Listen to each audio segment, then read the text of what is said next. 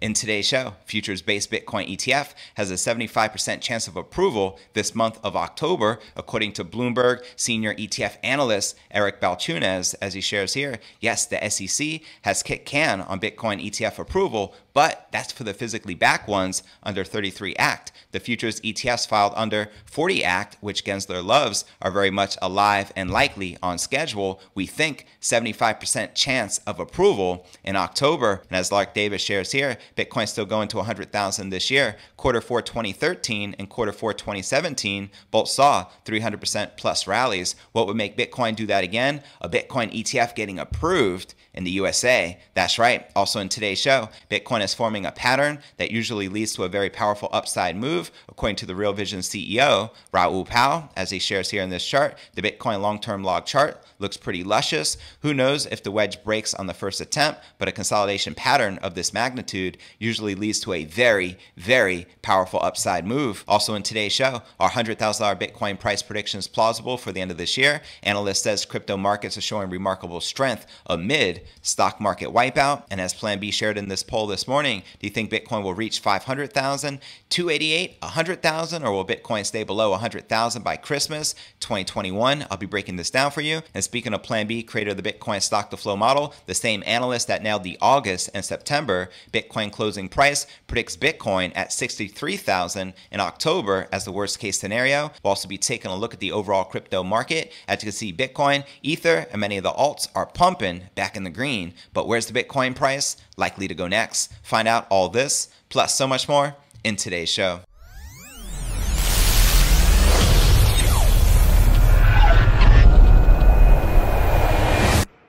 Here at Crypto News Alerts, I drop a brand new episode every single day. The goal is to get to 50,000 subs. If you like earning money in cryptocurrency, be sure to smash that subscribe button and ring that bell to turn on all notifications to receive daily premium crypto news alerts every single day, including weekends, just like this. Now let's talk about some crypto IRAs. Today's show is brought to you by iTrust Capital, the world's largest crypto IRA platform with over $2 billion in transactions. With iTrust, not only can you buy, sell, and trade crypto tax-free, but also precious metals as well, such as physical gold and silver, so you can trade 24-7 and there are no hidden fees and everything is very transparent. And here you can see the cryptocurrencies you can currently trade, which include Bitcoin, Ethereum, Cardano, Chainlink, Polkadot, as well as other top cryptos. And a reminder, you can also trade physical gold and silver via digital ownership. iTrust Capital utilizes Vault Chain investment grade gold and silver held physically at the Royal Canadian Mint with ownership managed via a secure blockchain distributed ledger. And the thing that I really like is the fact they have institutional custody by Coinbase, the world's leading institutional cold storage provider, backed by a $320 million insurance policy so you can have peace of mind knowing your digital assets are safe and secure. To take advantage of this, go ahead and use my referral link in the description right down below. And as a bonus, you'll receive your first month absolutely free. So what are you waiting for? Click the link right down below and let's start stacking them sats tax free. All right, welcome back to another episode of Crypto News Alerts. I'm your host, JV. How's it going, crypto fam? Holla at your boy. A Bitcoin exchange traded fund, better known as an ETF, has a 75% chance of being approved this month in some form. That's right. In comments this weekend, Eric Balchunas, senior ETF analyst for Bloomberg, says the United States Bitcoin futures ETFs were likely on schedule for regulatory green light. That's right. October began with the SEC announcing a frustrating yet not uncommon delay to their decision decision on whether or not to approve Bitcoin ETFs. The various applications, instead of being allowed or denied this month, will now begin to be processed in November. And according to Balchunas, however, futures based ETFs are more likely than to not pass muster in the coming weeks, as he shares here on Crypto Twitter in response to the news that the SEC has delayed the approval of four Bitcoin ETFs so that they have sufficient time to consider potential rule adjustments. And Balchunas responded, Yes, the SEC has kicked can on Bitcoin ETF approval, but that is for physically backed ones under 33 Act. The futures ETFs filed under the 40 Act, which Gensler loves, are very much alive and likely on schedule. We think 75% chance approved in October. Here's our odds. And as he shares here, it shows you the ETFs followed by the potential approval dates along with the odds of getting approved. We have the ProShares Bitcoin Strategy ETF, potential approval date October 18th, 2 to 1 chance of getting approved. The Invesco Bitcoin Strategy ETF, October 19th, approval date 9 to to 1 odds. The Van Eck Bitcoin Strategy ETF, October 25th, 20 to 1 odds, followed by the Valkyrie Bitcoin Strategy ETF, October 25th, 5 to 1, followed by the Galaxy Bitcoin Strategy ETF, November 1st, with 50 to 1 odds of getting approved. So there you have it. Balchunas referred to the SEC Chairman Gary Gensler, who last week hinted at a permissive stance regarding the instruments, quoting him here. Subsequently, we start to see filings under the Investment Company Act with regard to exchange traded funds seeking to invest in CME traded Bitcoin futures. He said in concluding remarks at the Future of Asset Management North American Conference, and he also shared when combined with the other federal security laws, the 40 Act provides significant investor protections for mutual funds and ETFs. I look forward to staff's review of such filings. Meanwhile, Canada's Purpose ETF, which got the go ahead at the start of the year, beating the US offerings, continues to go from strength to strength, as you can see here in this BYBT chart. Now, the history of Bitcoin ETFs has now spanned several years and seen multiple make or break moments in which proponents were all but certain that the SEC would grant its approval. And originally, Bitcoin price action could move significantly on the back of rumors tied to such events, this effect nonetheless lessening over time. Bitcoin futures themselves won formal approval in December of 2017 in time for the last few days of Bitcoin's run up to all time highs of $20,000. Also, like to point out, it's not only Eric Balchunas predicting a Bitcoin ETF in the US to get approved this month, we also have senior commodity strategist Mike McGlone predicting Bitcoin ETF could get the nod this month as well. And as Lark Davis shares here, Bitcoin still going to 100,000 this year. Q4 2013 and Q4 2017 both saw 300% plus rallies. What would make Bitcoin do that again? A Bitcoin ETF getting approved in the USA. Let me know if you agree or disagree in the comments below. And before I break down our next story of the day, Bitcoin forming a pattern that usually leads to a very powerful upside move, according to the Real Vision CEO, Raoul Pal, as well as our $100,000 Bitcoin price predictions plausible. Analyst says crypto markets are showing remarkable strength amid stock market wipeout, as well as analyst plan B that nailed the August and September Bitcoin closing price, predicts Bitcoin at 63,000 in October as the worst case scenario. But first, let's take a quick look at the overall crypto market. We have Bitcoin about even for the day, hovering at around that $48,000 mark. We have Ether up almost 3%, trading above $3,400. Solana up 4%, trading at $172. Cardano up 1%, trading at $2.26. Binance Coin up 1.5%, trading at $427. And Chainlink up about 2.5%, trading just above 27 bucks. All right, now let's break down our next story of the day. Macro guru and former Goldman Sachs executive Raoul Pal says Bitcoin is forming a pattern that could foreshadow a massive rally. The Real Vision CEO tells his 652,000 followers that Bitcoin is forming a huge descending wedge, reminiscent of a pattern that formed from 2017 to 2020. When Bitcoin broke out of the technical formation, it ascended to its all time high above 64,000. Quoting the Real Vision CEO right here, the Bitcoin long term logarithmic chart looks pretty luscious. Who knows if the wedge breaks on the first attempt, but a consolidation pattern of this magnitude usually leads to a very, very powerful upside move. Now, the macro investing veteran suggests Bitcoin can blast out of its range sometime between now and early next year. Raoul Pal also sees a wedge forming on Ethereum's Bitcoin pair. According to the macro guru, ETH slash BTC may break out of its resistance at the top of the wedge to ignite a 100% rally from the current levels. Quoting him again here, talking of luscious charts, the ETH slash BTC cross has seen a lovely consolidation and should move to a near double from here. And if and when the wedge breaks. The investors' ETH slash BTC forecast falls in line with previous calls on Ethereum being one of the best bets in all of the financial markets. According to Pal, the coming months should be ridiculous for the crypto markets, which include sizable rallies in ETH slash BTC, quoting him again here, my thesis is based that October, November, and December are ridiculous. I use a lot of charts for that. I start to look at some of the other protocols, and tokens are performing versus Ethereum and Bitcoin because we should see a further out on the risk curve still. So we should see over time that Ether slash Bitcoin cross. I think that's almost up to 0.08 BTC. It came down again 0.07 BTC. I think once it goes through 0.08 BTC, that will be the signal for the next phase of this whole crypto market market, which is usually the rewarding phase. So there you have it. And before I break down our next story of the day, our $100,000 Bitcoin price predictions plausible. Analyst says crypto markets are showing remarkable strength amid stock market wipeout, as well as the analyst plan B that nailed the August and September Bitcoin closing price predicts Bitcoin at 63,000 in October as a worst case scenario. But first, let's take a quick look at the overall crypto market cap, sitting back above 2.1 trillion dollars with 97.5 billion in volume in the past 24 hours, and current Bitcoin Bitcoin dominance is 42.3%, with the Ether dominance at 18.8%. And checking out the top gainers within the top 100, we have OMG Network up 21.5% for the day and 103% for the week, trading at $17.51.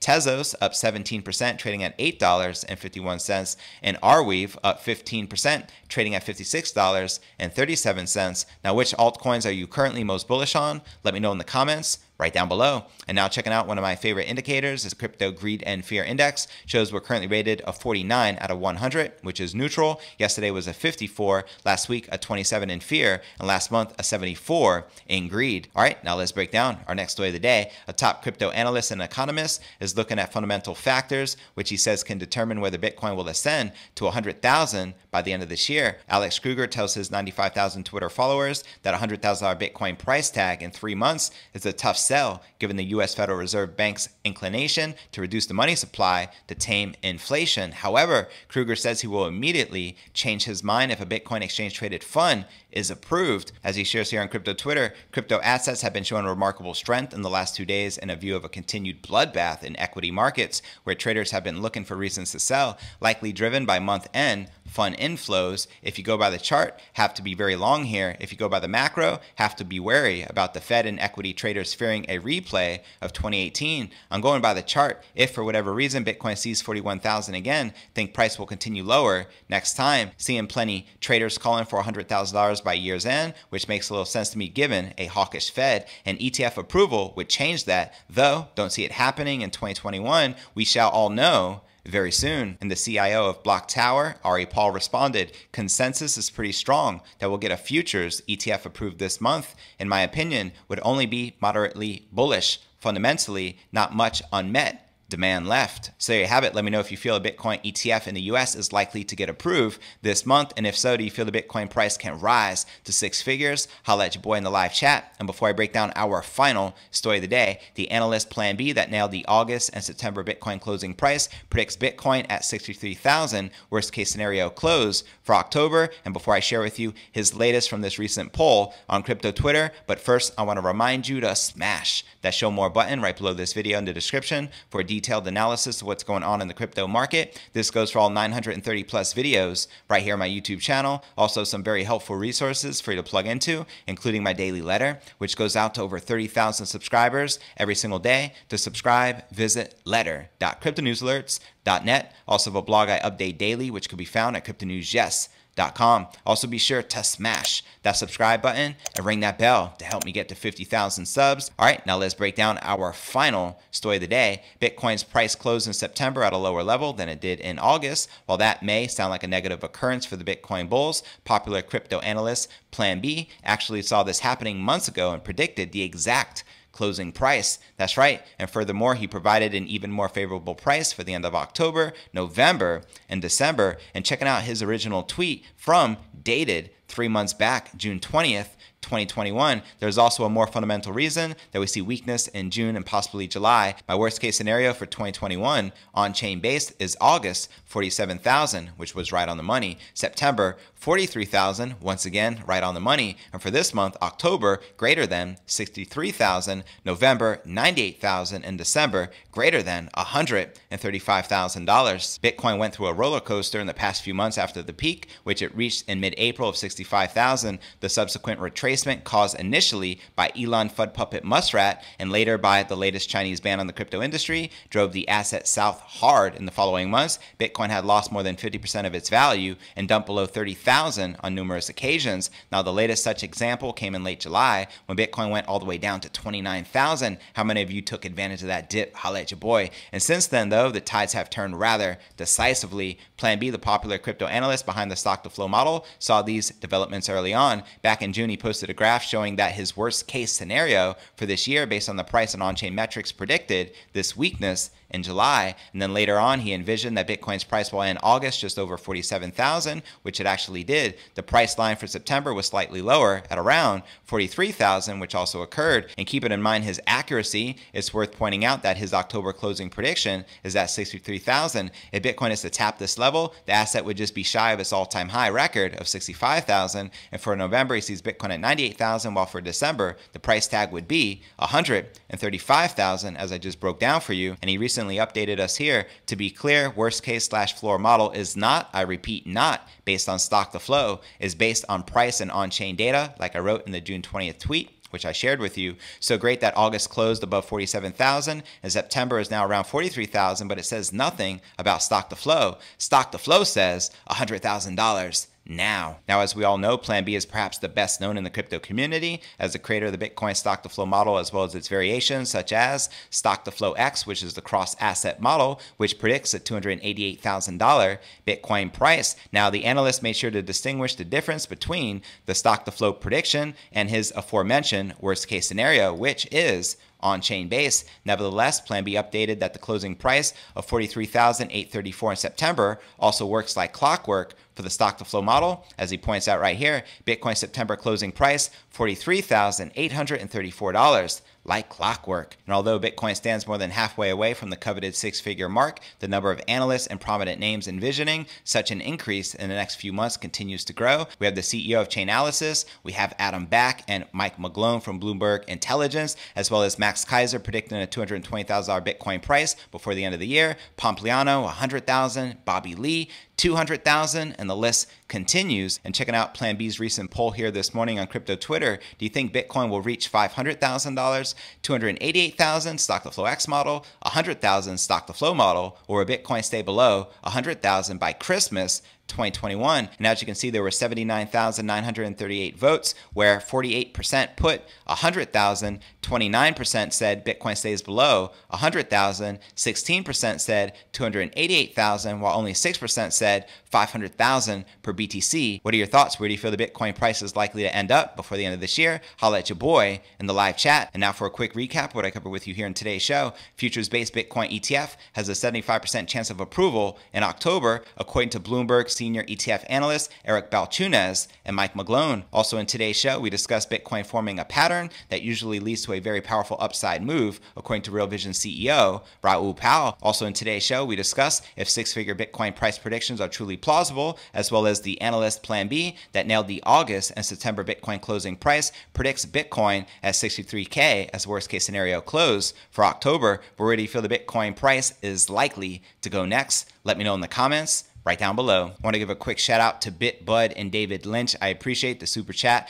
contributions. And now for the top three comments from yesterday's episode. Ron Romero wrote, just tip you some Bitcoin on Twitter. Keep up the good work. JV, that's right. As of yesterday, I activated Twitter tipping via Bitcoin, and it's pretty sweet. I received five tips yesterday, and you were one of the five, so I greatly appreciate your support. Now, the next featured comment comes from G. Dean, who wrote, Great show, JV. I believe ETH can hit at least $13,000 when Bitcoin hits over 90K. My response, thanks so much, G. Dean, for tuning in live. Oh, yeah, ETH 13,000 when Bitcoin hits 90,000. Love it. And the third and final featured comment of the day comes from BitBud, who wrote Banks must be trusted to hold our money and transfer it electronically, but they lend it out in waves of credit bubbles with barely a fraction in reserve. We have to trust them with our privacy, trust them not to let identity thieves drain our accounts. Their massive overhead costs make micropayments impossible. Quoting the great Satoshi Nakamoto, my response exactly fam, hence why I don't trust central banks slash bankers whatsoever. I thank God for Bitcoin and Satoshi every day. Thanks Thanks for tuning in live as always, and I appreciate the super chat